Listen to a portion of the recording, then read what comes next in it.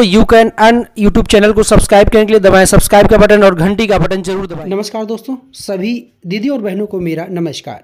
दोस्तों, सबसे पहले आपको नव वर्ष 2024 की हार्दिक शुभकामनाएँ। उम्मीद करता हूँ और आशा करता हूँ कि आप सभी बहनें, दीदियाँ और सभी इस मेरे यूट्यूब चैनल के परिवार, सदस्य खुशहाल रहेंगे। दो हज़ार चौबीस आपके लिए बेहद सुखद और मंगलमय होगा। निवेदन करता हूँ, अगर आप चैनल पर नए हैं, वीडियो को लाइक करेंगे, चैनल को ज़रूर सब्सक्राइब करेंगे, क्योंकि अपने इस चैनल पर मैं तरह तरह की अपडेट, तरह तरह की नए समाचार और खबर लेकर आता रहता हूँ। उत्तर प्रदेश के हर गाँव में खेल का मैदान बनेगा। ब्लॉक में मिनी स्टेडियम और ज़िले में बनेगा स्टेडियम। उत्तर प्रदेश के मुख्यमंत्री सीएम योगी आदित्यनाथ ने कहा कि अब यूपी के हर गाँव में खेल का मैदान, ब्लॉक स्तर पर मिनी स्टेडियम और जनपद स्तर पर स्टेडियम का निर्माण कराना ज़रूरी हो गया है।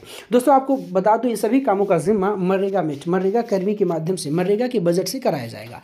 उत्तर प्रदेश के CM Yogi Adityanath Asian Games में उत्तर प्रदेश के खिलाड़ियों के प्रदर्शन से काफ़ी खुश हैं। सीएम योगी ने कहा कि देश की सोलह फ़ीसदी आबादी वाले राज्य में एशियन गेम्स में पच्चीस फ़ीसदी मेडल जीते हैं।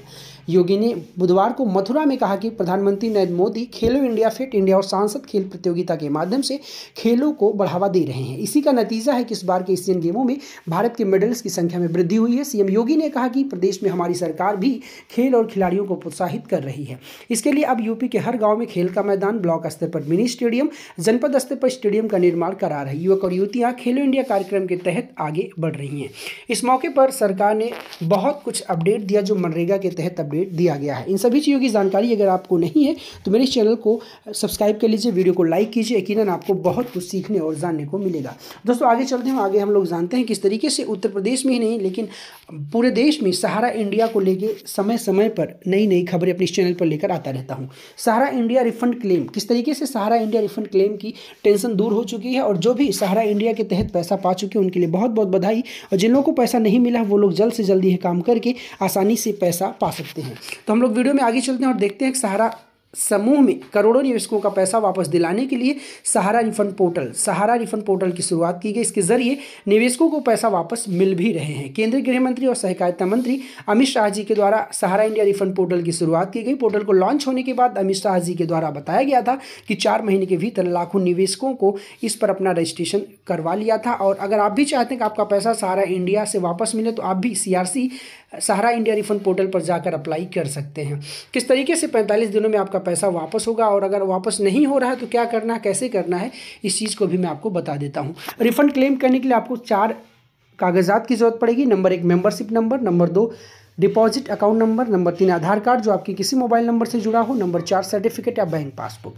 अब सहारा रिफंड पोर्टल के माध्यम से आपको रिसबमिशन करना है। रिसबमिशन के वीडियो का लिंक मैं डिस्क्रिप्शन में दे दूँगा, वहाँ जाकर आप देख सकते हैं। उसमें स्टेप बाय स्टेप बताया गया है किस तरीके से आप अपना सहारा रिफंड रिसबमिशन क्लेम करेंगे, ताकि आपके फॉर्म भरने के बावजूद भी अगर पैसा नहीं आया तो पैसा आ जाएगा। री रिसबमिशन किसको कराना, वो भी मैं आपको बता देता हूँ। दोस्तों, आपको बता दूँ कि जब आप सहारा इंडिया रिफंड पोर्टल के माध्यम से क्लेम किए थे और कोई गलती हो गई थी तो परेशान होने की ज़रूरत नहीं। आप फिर से सहारा इंडिया रिफंड पोर्टल पर जाकर रिसबमिशन करा के अपने अकाउंट नंबर या किसी तरीके की कोई गलती है, उसको अपडेट करके आसान तरीके से पैसा फिर से वापस पा सकते हैं। इसके लिए आप C R C S portal के द्वारा लॉन्च किए गए रिसबमिशन का ऑप्शन देख सकते हैं, जहाँ से आप गलतियों को सुधार कर सकते हैं। वीडियो के डिस्क्रिप्शन में आई बटन उसका लिंक वहाँ जाकर आप कंप्लीट वीडियो देख लीजिए। यकीन आपको वहाँ से बहुत कुछ सीखने और जानने को मिल जाएगा। हम लोग चलते हैं अगली खबर की तरफ़। तो दोस्तों, अगली जानकारी ये है, जानकारी है स्वयं सहायता समूह से जुड़ी हुई। स्वयं सहायता समूह से जुड़ी हुई जानकारी ये है कि ज़्यादातर हमारे सब्सक्राइबर कमेंट कर चुके हैं कि, सर सेल्फ हेल्प ग्रुप की लिस्ट कैसे निकालें? स्वयं सहायता समूह की लिस्ट कैसे चेक करें? कई सारे भाई और बहन हैं जो लोग स्वयं सहायता समूह बना दिए हैं, अपना फॉर्म ब्लॉक पर जमा कर दें, लेकिन उनकी वेबसाइट पर लिस्ट में नाम नहीं दिख रहा है। तो मैं आपको बता दूँ, आप किसी भी ग्राम पंचायत से, किसी भी गाँव से क्यों ना हो, अगर आपका समूह बना है यकीन इसके द्वारा आप अपने समूह को विस्तार से देख सकते हैं। तो आइए वीडियो में आगे हम लोग देखते हैं। स्वयं सहायता समूह की लिस्ट कैसे चेक करें? स्वयं सहायता समूह की लिस्ट ऑनलाइन चेक करने की प्रक्रिया क्या है? आइए हम लोग इस वीडियो में आपको बताते हैं। सबसे पहले आपको अपना समूह ऑनलाइन देखने के लिए सरकार की आधिकारिक वेबसाइट एन को खोलना होगा। यदि आप सीधे वेबसाइट पर पहुँचना चाहते हैं तो डिस्क्रिप्शन में लिंक है। उस लिंक पर क्लिक करके वहाँ पहुँच सकते हैं। डिस्क्रिप्शन में इतना ही नहीं, आपको लास्ट फाइनल लिंक भी दिया गया जिसमें क्लिक करने के बाद सिर्फ़ आपको अपना ज़िला, अपना जनपद और अपना ग्राम पंचायत या ब्लॉक चूज़ करके, यानी चुन के आप सीधा अपना नाम भी देख सकते हैं।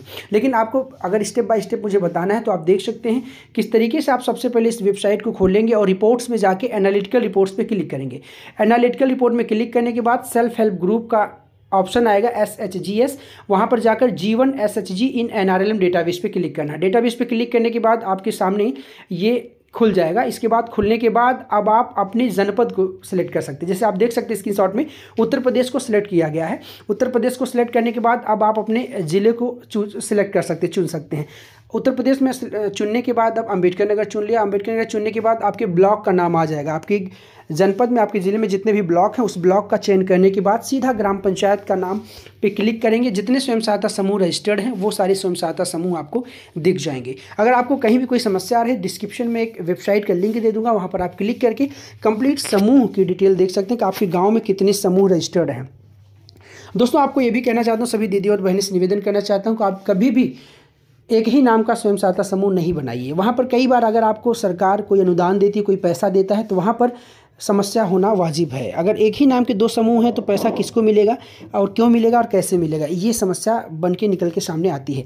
आपको कुछ नहीं करना, सीधा एक अलग समूह का नाम चुनना है उस समूह के नाम से अपनी सारी प्रक्रिया को अंजाम देना है। निवेदन करता हूँ, इस वीडियो में जो भी जानकारी मैंने तीन, चार, पाँच तरीके की दी है वो यकीन आपको पसंद आएगा। फिर भी अगर आपको कहीं कोई डाउट है तो यकीन वीडियो को लाइक कर दीजिए और कमेंट सेक्शन में जाकर कमेंट कीजिए। मैं हर एक कमेंट को पढ़कर उस पर एक स्पेशल वीडियो बनाता हूँ। निवेदन करता हूँ, जानकारी अच्छी लगी, वीडियो को लाइक करेंगे। धन्यवाद दोस्तों। तो you can on YouTube channel को सब्सक्राइब करने के लिए दबाएँ सब्सक्राइब का बटन और घंटी का बटन ज़रूर दबाएँ।